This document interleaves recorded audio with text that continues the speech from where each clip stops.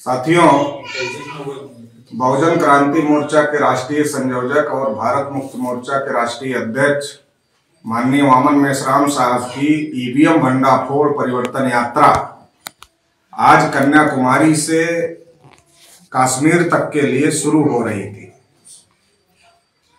कन्याकुमारी में प्रशासन के द्वारा उस यात्रा को अनुमति नहीं दिया गया। आज 26 जनवरी है और 26 जनवरी गणतंत्र दिवस है।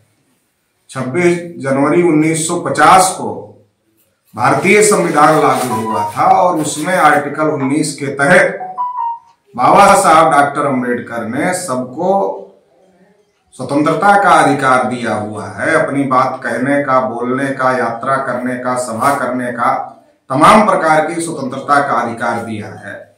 आज 26 जनवरी के दिन गणतंत्र दिवस के दिन कन्याकुमारी प्रशासन के द्वारा इस प्रकार से उनकी सभा को रोकना संविधान विरोधी कृत्य है।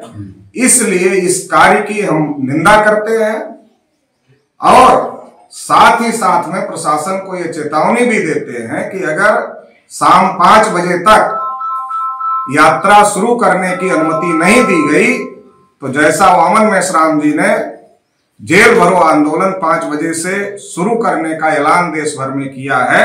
उसमें राष्ट्रीय पिछड़ा वर्ग मोर्चा के कार्यकर्ता पूरे देश भर में पूरी ताकत के साथ में शामिल होंगे।